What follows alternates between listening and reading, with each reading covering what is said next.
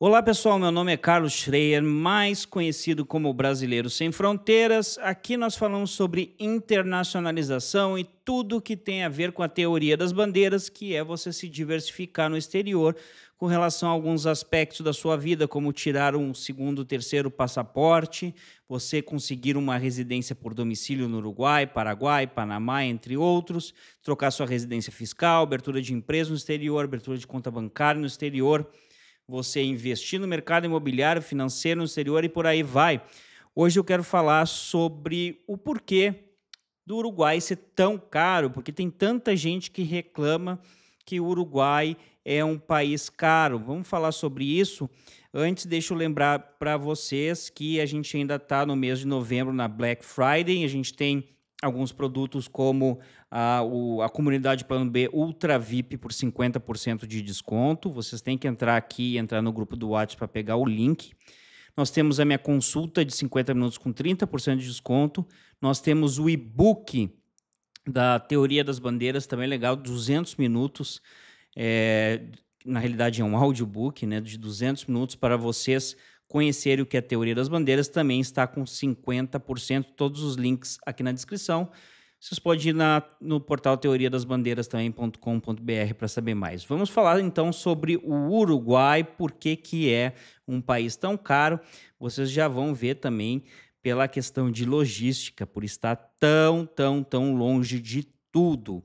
Mas vamos por, primeiro para alguns fatos, né? Alguns dados do país, pois Uh, a renda é muito alta lá no, no, Uruguai, tá? A gente não pode comparar o Uruguai com o Brasil, porque o Brasil é um país pobre, Paraguai é um país pobre, é, Chile não é tanto, Chile já dá para comparar, mas diversos países na América Latina são pobres e não tem como comparar com o Uruguai. Para vocês terem a noção, o salário médio do uruguaio é 2.500 dólares por mês. Sim, é 2.500 dólares por mês e o Uruguai tem uma classe média de 60% da população, certo? Esse vídeo aqui é todo baseado num vídeo da, BB, é, da BBC News, depois é, vocês podem procurar lá. É, ele também tem aí um estado de bem-estar mais desenvolvido da América Latina, investe 4,9% do PIB em educação. O Brasil investe mais ainda, mas investe errado. Investe, investe em, em universidade pública, onde só tem o quista, ao invés de investir nas escolas é, de, de, primeiro e segundo grau, que eu falava na época aí, é ensino fundamental e ensino médio, deveria investir nisso, que é o, o Uruguai também é, universidade pública, tá? Quem tem a, residência, que nem eu tenho, pode fazer universidade pública. E 6,5% em saúde, também pode usar o serviço público de saúde. Agora, você já pode ter uma noção de que o Uruguai tem um poder aquisitivo melhor para poder viver num país mais caro. Mas vamos é, analisar o porquê do, do país ser um país caro. Então, de 600 produtos uruguais, 27% em média são mais caros do que os outros países.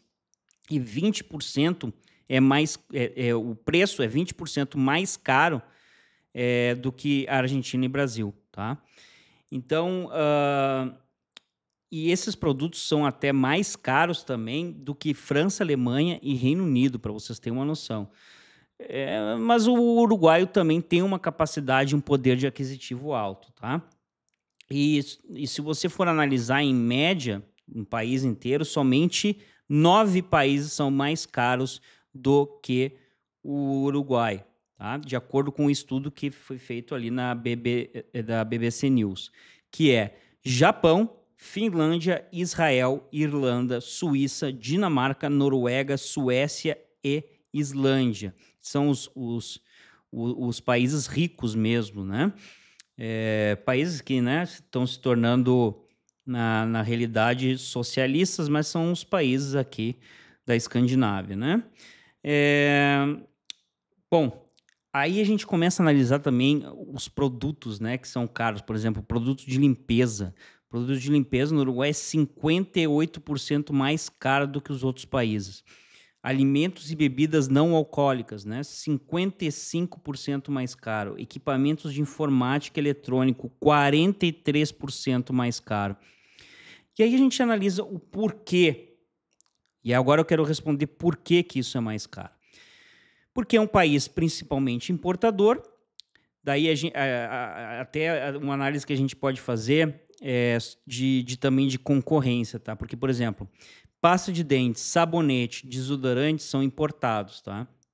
E aí, mesmo tu, tu trazendo o produto importado, com toda a logística e uh, imposto de importação, como a, a população é muito pequena, tem 3 milhões e meio de habitantes, tem pouca concorrência, tem uma ou duas empresas lá fazendo importação. E aí o que, que acontece? Eles botam muito lucro em cima, porque se não tivesse empresa, não ia ter nem pasta de dente no Uruguai. E aí, por não ter concorrência, o preço da pasta de dente, sabonete e desodorante seja, fica sendo muito caro. Tá? E aí também nós temos aí o custo de logística, por vocês perceberem que, pensa só, o Mercosul já é o lugar mais afastado do mundo. A gente já falou sobre isso. Desculpa aqui que deu uma rodada aqui total. A gente já falou sobre isso, está afastado aqui da África, né, da América do, do, do Norte, dos Estados Unidos, da, da Europa, da Ásia, olha só a distância. Então, se você está aqui no Chile ou está no Uruguai, você está afastado de tudo do mundo, certo? Então, claro que o Brasil tem a produção deles, a Argentina tem também a produção delas. Agora, o Uruguai tem que importar tudo. E aí também está preso ao Mercosul. E por estar preso ao Mercosul, tem problemas, né? Tem um, um imposto do IVA, né? 22%, que é altíssimo. É um imposto de consumo muito alto. O, o Brasil consegue ser maior, mas você tem um imposto alto lá de IVA.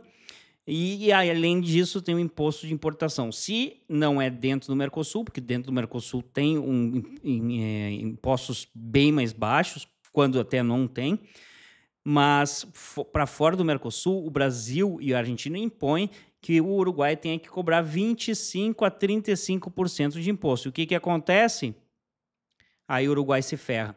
Porque se o Uruguai fosse que nem o Chile ou que nem o Panamá poderia fazer acordos bilaterais e ser um membro associado do Mercosul. Esse é o problema, porque o Chile e o Panamá conseguem reduzir taxas de importação ou eliminá-las completamente, por exemplo, com a China ou com os Estados Unidos. É o que o Panamá faz. Daí as coisas ficam bem mais baratas, mesmo sendo um, um país pequeno, de 4,5 milhões de habitantes, só um milhão a mais. Então, o Uruguai, o principal problema do Uruguai é o Mercosul. Poderia ser um, um Estado associado com, diver, é, com tarifas de Mercosul, dentro do Mercosul, mas não preso à Argentina e principalmente ao Brasil, certo? E aí a gente tem também ali o litro da gasolina, que é o mais caro da América Latina e o 15º mais caro do mundo. E também isso influencia no diesel que o diesel subsidia o serviço público de, de, transporte público. E isso tudo deixa os produtos mais caros, porque todos os produtos são é, transportados por, é, por estradas, por, por é, caminhão, entendeu? Então tudo isso deixa caro. Energia elétrica também é cara, certo? Porque lá não tem os rios, represas e etc. para ter energia limpa. Então tudo é caro. E o peso uruguaio também se desvalorizou um pouco, não tanto que nem o real, mas um pouco, e deixou os produtos um pouco ainda mais caros. E para vocês terem uma noção, se vocês forem olhar o índice Big Mac, o Big Mac lá do Uruguai é o mais caro da América Latina e o segundo maior do mundo, só perdendo para a Suíça. Mas além de tudo isso, vamos analisar uma coisa aqui, que isso é, é importante, tá? O quão o brasileiro reclama e o quão o brasileiro é pobre. Então não é tanto assim como a gente está imaginando. O Uruguai é um país que é caro, mas é um país mais rico, é um país estável, com uma classe média alta, então um país que tem uma qualidade de vida super boa. Agora vamos fazer uma comparação aqui no, no site Nambio, que tem o custo de vida, né? Eles analisam o custo de vida. Eu fiz uma comparação aqui com São Paulo e Montevidéu e a gente vai ver aqui por quê, tá? Porque o brasileiro é pobre. Lembrando que se você fizer uma comparação do PIB per capita para a idade do poder de compra, no Uruguai, se eu não me engano, está em quase 30 mil, sendo que o Brasil é 20, certo? E aqui, se a gente for comparar, nós temos, uh, vocês podem colocar aqui também, uh, por exemplo, ó, uma, uma refeição num restaurante que é barato, 7 dólares. Em Montevidéu, quase o dobro, né? Mais que o dobro, 104% a mais. Aí você vai olhando aqui, é, uma refeição duas pessoas num restaurante médio, é, aí você vai olhar que aqui é 9% a mais, o Mac Meal do McDonald's, 37% a mais, uma cerveja doméstica, 94% a mais, uma cerveja importada, 2,2% mais, cappuccino, e aí você vai olhando aqui, ó, é, leite no supermercado, 1 litro, 14% a mais, é, arroz, 22% mais, ovos, 95% mais, e aí você vai indo. Uh, maçãs, 15% mais, você vai olhar que tudo, tomate, 118% mais, certo? Água, 137% mais, realmente lá tem um problema de água. É, cerveja importada aqui, é, a garrafa melhor, menor, né, 19%, transporte, tudo aqui você vai olhar que é mais, ó, táxi 1 quilômetro, 381% mais. Gasolina, 79% mais. E aqui você pode olhar tudo, tudo, e você vai olhar que tudo é mais caro. Tudo é mais caro, certo? Agora, vamos olhar de uma perspectiva de uma pessoa que saiu da Flórida, que nem eu. Depois fui para o Panamá, mas digamos que eu saí da Flórida e fui direto para o Uruguai. Ou um americano ou um europeu decidiu fugir da porcaria da Europa, ou da porcaria do Canadá, ou do melhor país do mundo, que é os Estados Unidos, mas decidiu não viver mais lá. E foi saiu de Miami para Montevidéu. Essa é uma é uma forma diferente de olhar, tá? Vamos lá. Deixa eu mostrar aqui. Vamos lá. Se você olhar na, na, na perspectiva agora, Miami um, uma refeição num restaurante que não é caro, 28 dólares, Montevidéu 14, Montevidéu é 48% mais barato. Uma refeição para dois, que nem a gente estava olhando lá, 100 dólares em Miami, 47 em Montevidéu, 52% mais barato. O Macmeal no McDonald's, 12%, 9%, 19%. A, a bebida domestic beer, né? que é uma cerveja uh, do, doméstica, 7,50, né? Isso é meio litro, né? O, o Droth. Aqui vai dar uh, aqui vai dar 7,50 e 3,41 em Montevidéu, 54% mais barato, cerveja importada 9, 13,50 e aí vai indo, né? Cappuccino, uh, água, e você vai vendo que tudo aqui, o, o, o ovo, os ovos aqui é 7%. É uma coisa que outra, a banana que você vai vendo que em Montevidéu é mais caro. Mas se você vai ver, ó, táxi aqui é mais caro. Você vai ver a maioria das coisas, gasolina é mais caro, a maioria das coisas em Montevidéu é mais barata. Claro, ó, um, um tênis da Nike, obviamente, em Montevidéu vai ser mais caro. Um, um par de um jeans, né? da, eh, da Levi's vai ser mais caro né, no, no Uruguai, Montevideo. Né?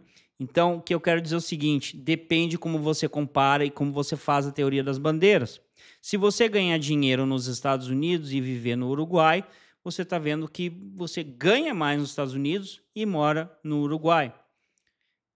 É, e depende, depende de como você paga os seus impostos.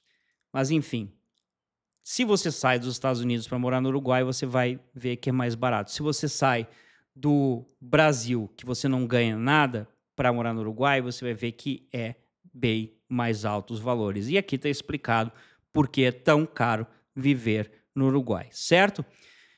Pessoal, lembrando da Black Friday até o final de novembro, com os descontos. O audiobook também, a nossa comunidade está na Black Friday. Lembrando que tudo, todo o conteúdo que eu já fiz na Brasileiro Sem Fronteiras está no membro Ultra VIP, que aqui é 697, mas dentro da Black Friday está pela metade do preço, tá? É, é um, é um real por dia. Então vai lá, dá uma olhada lá, certo, pessoal? Então esse vídeo vai ficando por aqui. Um abraço a todos e até mais.